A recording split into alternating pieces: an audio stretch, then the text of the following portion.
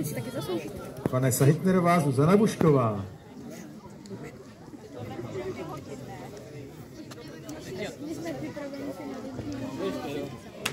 Nová Drahotěšice.